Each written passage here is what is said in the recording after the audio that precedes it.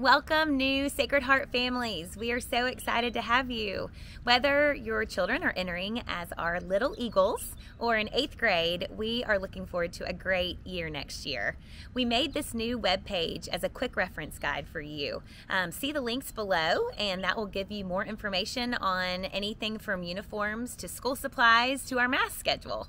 And as always, please contact me with any questions. We can't wait to have your children have a happy, happy summer.